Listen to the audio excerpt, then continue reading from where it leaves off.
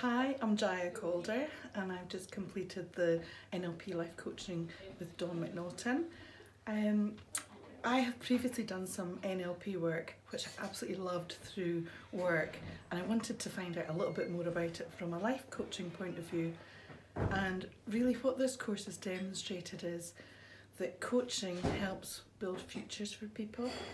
It actually cuts through a lot of things and coaching is where the magic happens. Absolutely highly recommend this course to anyone. It's been absolutely brilliant.